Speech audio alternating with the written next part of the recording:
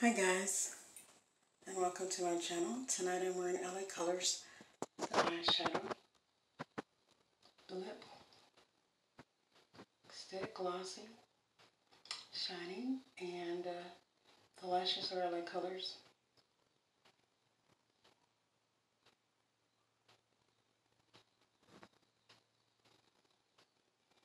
So whenever you decide to go out for the evening, try something different. Of course I'm wearing Maybelline Fit Me.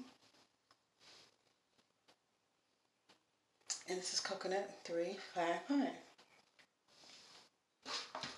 And remember guys, never give up on your dreams.